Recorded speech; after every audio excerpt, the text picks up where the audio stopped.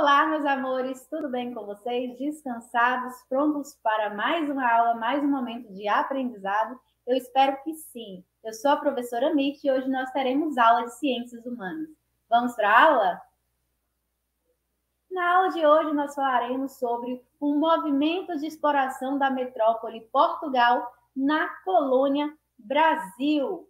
E como foi que tudo isso começou?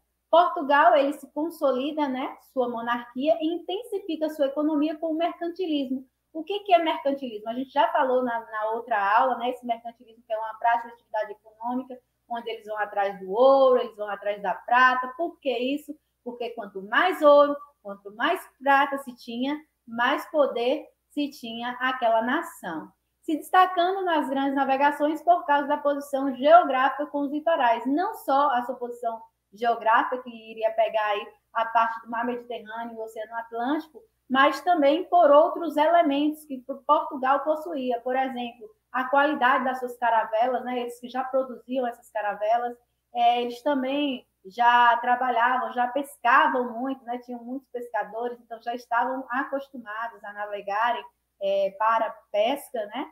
É, essa experiência desses marinheiros também favoreceram aí para que Portugal se destacasse nas grandes navegações. Todas essas novidades, somadas à economia crescente, geraram um espírito explorador nos europeus, é, que saíam descobrindo territórios para obter riquezas, né? Para obter riquezas. É, quando a gente fala espírito explorador nos europeus, a gente não está falando somente dos portugueses, mas também, por exemplo, dos espanhóis, que chegaram à América em 1492, mas não ao território brasileiro. Eles chegaram apenas ao continente americano, porém, a gente sabe que o Brasil faz parte do continente americano, mas ele não tinha chegado ainda a essa parte, certo? Que seria a América do, do Sul, né? A chegada dos portugueses ao Brasil ocorreu, ocorreu devido a uma expedição liderada por Pedro Álvares Cabral. Ele comandou 13 caravelas que saíram de Lisboa no dia 9 de março de 1500 e chegaram em Porto Seguro no dia 22 de abril de 1500, certo? Eles saíram de lá em março e chegaram aqui em abril. É, quem comandou essa expedição? Pedro Álvares Cabral. Quando foi? Saiu de lá, né, no dia 9 de março, chegando aqui no dia 22 de abril de 1500, que é onde é, a gente tem dentro do nosso calendário, né, é a comemoração do dia do descobrimento do Brasil, 22 de abril de 1500, mas a gente sabe que não foi um descobrimento, eles encontraram talvez uma terra que era nova para eles, só que a gente não pode dizer que foi descoberta porque aqui nós já tínhamos os índios ou as populações indígenas, né? Que antigamente é, se falava sobre o índio, que a gente já viu que a gente não deve utilizar esse termo índio por ser um termo genérico, né? Onde a gente, de certa forma, é, faz com que todas as populações é, indígenas elas sejam é, identificadas como aquele índio que foi descrito lá por Pero Vaz de Caminha é, no, na época em que o Brasil foi descoberto, né, ou encontrado. Mas será que foi intencional? Será realmente que é, foi por acaso que eles chegaram aqui ao Brasil? Ou foi algo intencional?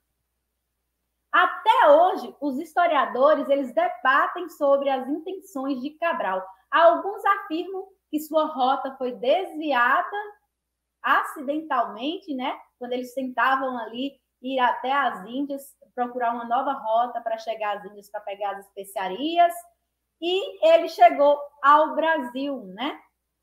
Outros discordam e afirmam que ele sempre quis desviar-se do trajeto original e explorar outra parte da América que ainda não tinham sido é, explorados pelos espanhóis, né? Então, há pessoas que acreditam que foi intencional e outros que na verdade foi um acidente, né? Que essa rota ela foi desviada ao acaso, que eles não queriam isso, eles queriam ir até as Índias. mas a gente ainda não sabe ao certo o que foi que aconteceu. E o que, que aconteceu depois que eles encontraram o Brasil? No momento em que o Brasil ele foi descoberto, não houve uma tentativa oficial de colonização. Isso porque a coroa portuguesa ela estava focada com as especiarias que estavam lá nas Índias, né? É, ela estava tentando ir até lá, por quê? Porque iria encontrar essas especiarias de forma mais barata, já que os preços que se tinha na Europa eram preços abusivos, né? É, dessas especiarias. E que especiarias foram essas? A gente já estudou na outra aula, foram alguns temperos, né? Raízes como canela, como cravo, a pimenta do reino, né? Dentre vários outros é, elementos, né? E aí eles não estavam preocupados com a colonização. Eles só queriam descobrir esse novo caminho, né? Eles estavam focados aí no comércio com a Índia. E eles também não sabiam, sabiam se valia ou não valia a pena explorar um lugar é, que era desconhecido naquele momento. Eles não sabiam o que, que eles poderiam encontrar ali. Então, eles preferiram focar nas Índias, que eram onde eles iriam encontrar os produtos que eles poderiam é, lucrar bastante, né? E o que, que aconteceu nesse período inicial? Esse período inicial ele foi chamado de período pré-colonial. Pré, pré, bem antes da colônia, antes do Brasil se tornar colônia. Então, de 1500 até 1530, em alguns livros diz que até mais ou menos 1533, ele vai, é, desde o descobrimento até a implantação das estruturas coloniais, como era o caso das capitanias hereditárias, é, não se tinha ainda é, colonizado o Brasil, certo? Não, não, não se tinha colonizado nesse período, por isso que a gente chama de período pré-colonial. Nesse período, houve a prática do escambo, que era a troca de, de mercadorias, né, onde houve a extração aí do pau-brasil, se dava bugigangas para os índios, né, em troca aí desse trabalho forçado da retirada da madeira. As duas principais marcas desse momento inicial são o desenvolvimento do escambo com os indígenas e a exploração do pau-brasil. Escambo é o quê? comércio de troca, certo? E a exploração aí do pau-brasil, que foi a primeira atividade econômica do Brasil, porém uma atividade que não era feita de forma organizada, certo? Não era uma atividade economicamente organizada. Houve a exploração da população indígena, né? Eles eram obrigados a cortarem madeira. É, de certa forma, eles tentaram escravizar esses índios. Houve também o primeiro ciclo econômico do Brasil, que foi o ciclo do pau-brasil, porém não de forma organizada. Essa espécie de madeira ela era utilizada pelos índios para o tingimento de tecidos. Houve também a extinção da madeira, isso mesmo, eles exploraram tanto o pau-brasil que começou-se a ficar é, em extinção. E houve aí também as primeiras, a chegada das primeiras mudas de cana-de-açúcar, lá em 1930, que foi quando começou aí o, o, Brasil a ser dividido em capitanias hereditárias. Foram as 15 capitanias hereditárias, cada capitania tinha o seu donatário, né?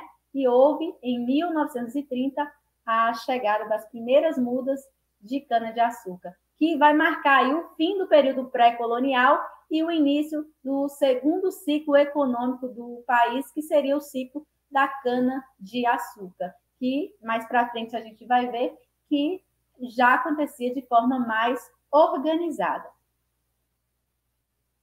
Quais foram os motivos que fizeram os portugueses colonizarem o Brasil. A gente viu que lá no início eles não tinham interesse em colonizar o Brasil. Não tinham por quê? Porque eles estavam focados no comércio com a Índia, né? Mas por que, que eles resolveram, assim, ao acaso, é, é, colonizar o Brasil? Primeiro, diminuição do comércio português com as Índias, que já não estava lucrando tanto. Nós tivemos também ameaças de invasões estrangeiras né, no Brasil, ameaças francesas, ameaças holandesas, então o Brasil precisava ser colonizado, precisava também ser povoados, né, para se evitar essas invasões. Houve também, né, a Espanha tinha acabado de descobrir ouro na América Espanhola e eles pretendiam, né, já que a Espanha encontrou ouro na América Espanhola, aqui no Brasil também poderia ter. Então foi um outro, né, dos motivos aí que fizeram eles colonizarem o Brasil. E devido também ao contrabando comercial que estava acontecendo no Brasil. Esses fatores fizeram com que o rei D. João III mobilizasse uma efetiva colonização portuguesa para não perder as riquezas. O que aconteceu no Brasil Colônia? O Brasil Colônia tem como marca inicial a primeira expedição colonizadora por todo o litoral brasileiro, realizada por Martim Afonso de Souza, a pedido de D. João III. Ela foi criada para a instituição de estruturas coloniais, iniciando assim, é, iniciado pelas capitanias hereditárias. Então, o marco da primeira expedição colonizadora foi realizada aí por Martim Afonso de Souza. Foi quando houve aí é, essa divisão de forma mais detalhada das capitanias hereditárias. A partir daí, as estruturas governamentais e organizações políticas, econômicas e sociais começaram a ser a serem oficializadas no Brasil. E o que, que foram as capitanias hereditárias? Olha só como era o Brasil naquela época. O Brasil só pega só, menos que a metade né, do que a gente tem hoje em relação à extensão territorial. Essas eram as capitanias hereditárias do Brasil. Nós temos aí as 15 capitanias hereditárias. Cada capitania hereditária ela levava um nome. É, cada capitania hereditária nós tínhamos um donatário, né, uma pessoa que era responsável por essas terras. A gente sabe que dentro dessas, embora sejam donatários, o nome donatários, eles não eram bem os donos da terra, né? É, é continuava pertencendo aí à coroa portuguesa. Eles estavam somente administrando essas terras, que eram as 15 capitanias hereditárias. Então, as capitanias hereditárias, é, elas seriam um, o enorme território que foi dividido em 15 capitanias, que eram faixas de terras que abrangiam desde o litoral brasileiro até o limite estabelecido aí pelo Tratado de Tordesilha, né, que dividia o Brasil em uma parte da, para a Espanha, né, e a outra parte seria para Portugal. Porém, essas capitanias hereditárias não deram certo. Isso mesmo, elas fracassaram. E por que que isso aconteceu? O sistema de capitanias hereditárias foi falho e ele foi abolido, ele foi extinto, extinto, né? Alguns anos depois. Dos 15 territórios, nós só tivemos dois que foram bem-sucedidos, que foi a capitania de Pernambuco e a capitania de São Vicente. A de Pernambuco, que era comandada aí por Duarte Coelho, que foi quem introduziu o cultivo da cana-de-açúcar, e a capitania de São Vicente, que era comandada por Martim Afonso de Souza, que foi a primeira vila é, como marco de ponto comercial, incluindo aí o tráfico indígena. E aí a gente tem uma charge aí logo abaixo que diz assim, diz assim: mas o Estado não vai entrar com uma graninha? Negativo. Estamos desestatizando o Brasil. Ou seja, quando é, o Brasil ele foi dividido em capitanias hereditárias e se teve aqueles donatários, não se teve nenhum tipo de incentivo financeiro, certo? Não, não se teve nenhum tipo de ajuda financeira aí do governo português para é, essas pessoas. Então, por qual motivo foi que o fracasso aconteceu, né? Porque o sistema sofreu com a falta de recursos, uma vez que é, eles não tiveram nenhum tipo de incentivo, né? foram abandonadas ou sequer os donatários também nunca saíram de Portugal. Poucos foram os que é, realmente vieram, né, para cuidar aí das, das terras, né, que lhe foram é, é, que lhe foram direcionadas, no caso, com essa divisão das capitanias hereditárias.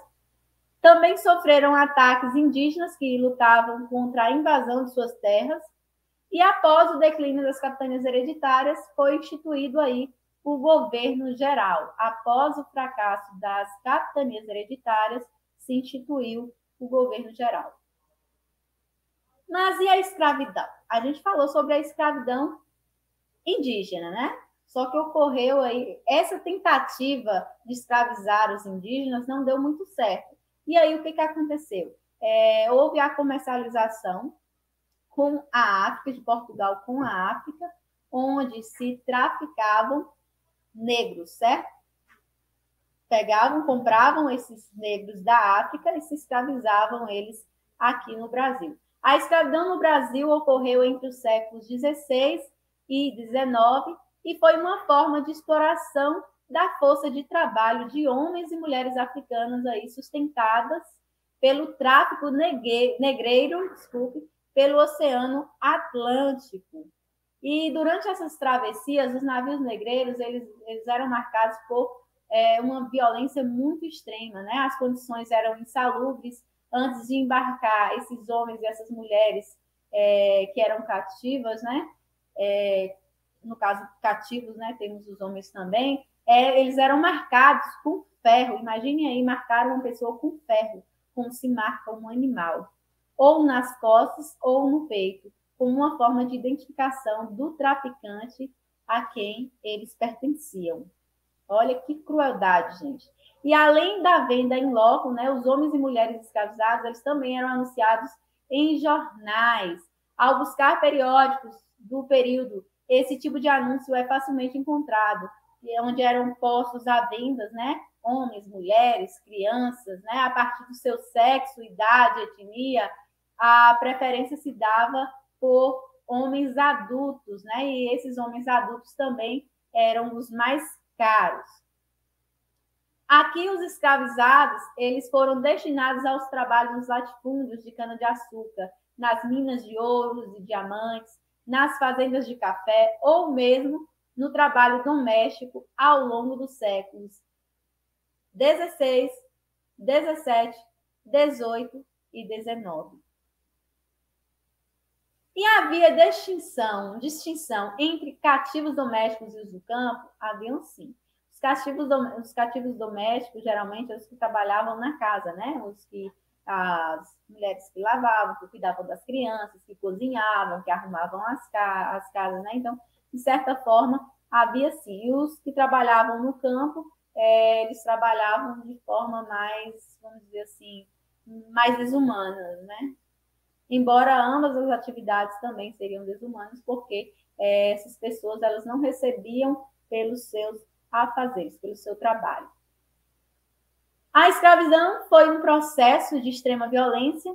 A monocultura, que é a cultura de um único tipo de, de plantação, como por exemplo aconteceu com a cana-de-açúcar, necessitava de um grande número de trabalhadores que eram submetidos a uma rotina de trabalho que era muito difícil, pesada, sem lucros para os cativos é, força de trabalho na produção latifundiária e assim por diante.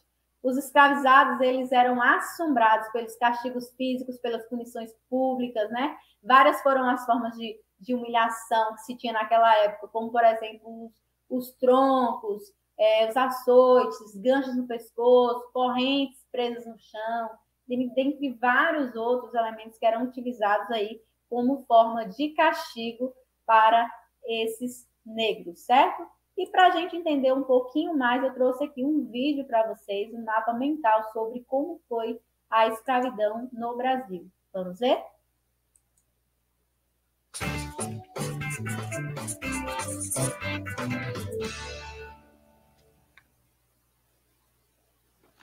Salve, salve galera, beleza? Eu sou Guilherme Praça, do time de História do Descomplica. Sejam muito bem-vindos a mais um Quer Que Desenhe? Aqui, nós construímos juntos mapas mentais para você dominar qualquer matéria. Bora lá?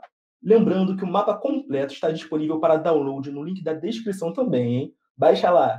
Agora, vamos falar de um assunto muito delicado da história moderna: a escravidão no Brasil. Como já vimos no mapa mental sobre as grandes navegações, Portugal foi pioneiro no processo de expansão marítima pelo Atlântico. Durante o século XV, os portugueses realizaram um périplo africano, conhecendo a costa do continente colonizando ilhas e realizando comércios. Até que em 1500, os primeiros portugueses chegaram na América, iniciando a colonização e o primeiro contato com os povos nativos, chamados genericamente de índios. Assim, os grupos étnicos que aqui viviam estabeleceram relações comerciais com os portugueses, mas com o passar do tempo e com a expansão europeia na América, os próprios nativos passaram a ser escravizados. Com um extenso território, poucos colonizadores e muitas oportunidades de lucro, os europeus logo impuseram a escravidão aos nativos como uma forma de superar violentamente os obstáculos da colonização.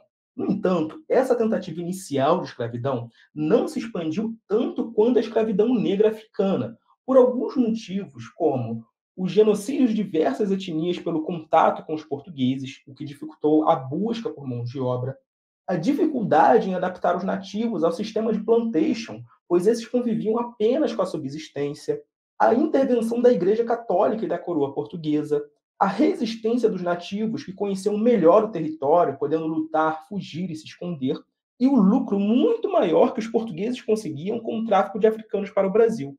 Assim, como a escravidão indígena não gerou os rendimentos e o trabalho esperado pelos portugueses, ela continuou sendo utilizada ao longo dos séculos, mas de maneira bem menos intensa.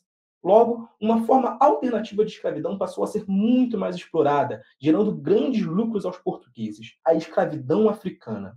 O trabalho compulsório já existia na África, principalmente como espólios de guerras. No entanto, a escravidão que os europeus impuseram aos africanos contou com características e dimensões únicas, a relação com o mercantilismo e com a desumanização dos negros teve como consequência o sequestro de milhões de pessoas que foram levadas para a América em navios negreiros e vendidas para colonos escravocratas. Além disso, os lucros que esse mercado conseguia eram gigantescos, inclusive sendo fundamental para muitas relações comerciais internacionais, sobretudo entre Brasil, Caribe, 13 colônias, África e Europa.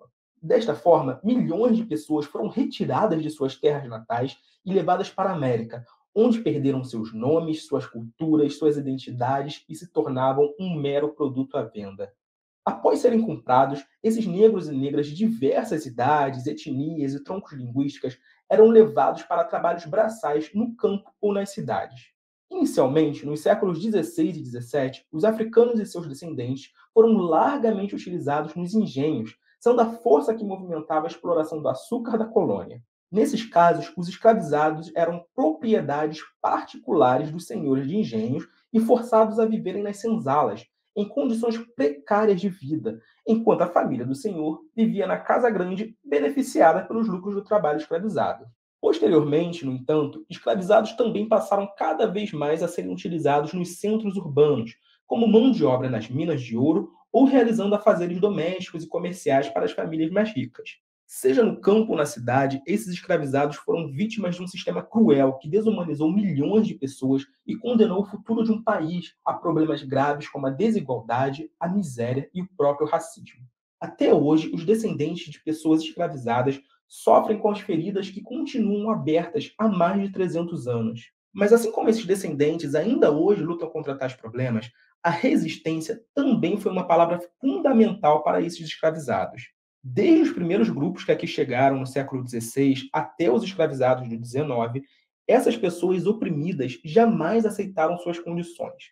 Foram diversas as ferramentas e estratégias de resistência ao longo dos séculos, como as fugas, a formação de quilombos, as revoltas contra escravocratas, a manutenção de suas idades e culturas originais, o enriquecimento e a compra de alforrias.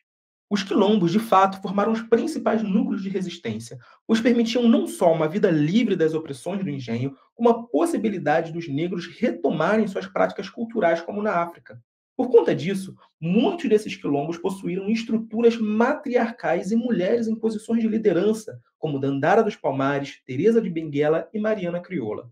Graças às lutas protagonizadas pelos escravizados no Brasil, podemos destacar a construção de uma outra resistência que foi o movimento abolicionista. O abolicionismo foi uma campanha internacional fundamental para a luta contra a escravidão.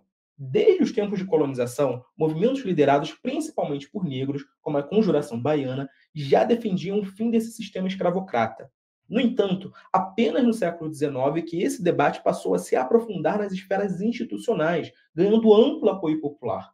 Inicialmente, a Inglaterra já pressionava o governo brasileiro pela abolição, chegando a criar a Lei Bill Aberdeen em 1845, impedindo a circulação de navios negreiros pelo Oceano Atlântico. Já em 1850, o próprio parlamento brasileiro ainda aprovou a Lei Eusébio de Queiroz, que proibiu o desembarque de africanos escravizados nos portos brasileiros. Assim, nesse cenário, o abolicionismo passou a crescer entre homens e mulheres, recebendo o apoio de grandes políticos como José do Patrocínio e Joaquim Nabuco, e de intelectuais como Luiz Gama, André Rebouças e a autora Maria Firmina dos Reis. Além disso, a continuidade das fugas e das revoltas construiu um cenário de forte pressão sobre o parlamento e os escravocratas brasileiros, desencadeando um lento processo de abolição. Aos poucos, leis como a do sexagenário, do ventre livre e a própria Lei Áurea pavimentaram o fim do sistema escravocrata. No entanto, antes mesmo da Lei Áurea ser assinada, muitos escravizados já se libertavam graças às compras de alforria por abolicionista e pelas próprias lutas, um dos casos mais marcantes foi o fim da escravidão no Ceará, em 1882, após uma rebelião liderada pelo jangadeiro Chico da Matilde, também chamado de Dragão do Mar. Enfim, com todos esses detalhes, vocês já devem ter percebido que a escravidão no Brasil, seja de negros ou de nativos, deixou sérios problemas para o país. Pela forma como que se enraizou na nossa estrutura social e pela sua crueldade, sofremos com suas heranças até hoje. Entretanto, você também deve ter percebido que esse sistema chegou ao fim longe da forma pacífica, mas por consequência de muita luta e resistência dos próprios negros através dos séculos. Por isso, é tão importante destacarmos seu protagonismo. Bom, pessoal, agora que chegamos ao fim, não esqueçam de baixar o mapa completo no link da descrição para estudar quando quiser. Peraí, peraí, peraí, não me deixe ainda não. Já se inscreveram no canal e ativaram o sininho? Já curtiram o vídeo?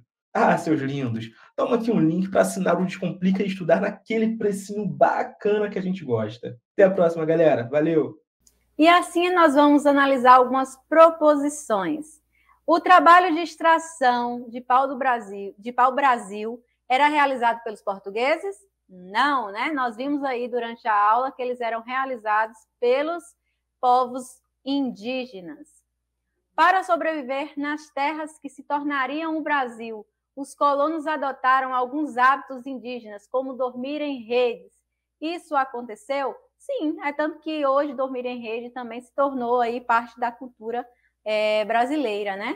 A metrópole tinha que produzir e fornecer mercadorias para enriquecer a colônia. Na verdade, nós que produzíamos né, coisas para enriquecer a metrópole. O tráfego negreiro foi uma das atividades mais lucrativas e cruéis da colonização e foi responsável pela chegada de muitos africanos ao Brasil. Verdade ou mentira? Verdade, né? Essa informação ela é verdadeira, não é falsa. Tanto que eu apresentei agora um vídeo de, para vocês, né, que já vai descrever é, essa passagem aí da escravidão no Brasil, que durou aí muitos e muitos anos, né? O primeiro grupo escravizado no Brasil foram os indígenas, principalmente porque estavam em grande quantidade. A primeira tentativa de se escravizar alguém no Brasil foi sim, é, foram sim essas populações indígenas. A nossa aula ela vai ficando por aqui. Pegue o seu percurso pedagógico, é, é, realize essas atividades aí com muito capricho, com muito cuidado, que elas deverão ser devolvidas às escolas de vocês, certo? Um beijinho no coração de cada um de vocês e até a próxima aula. Tchau, tchau.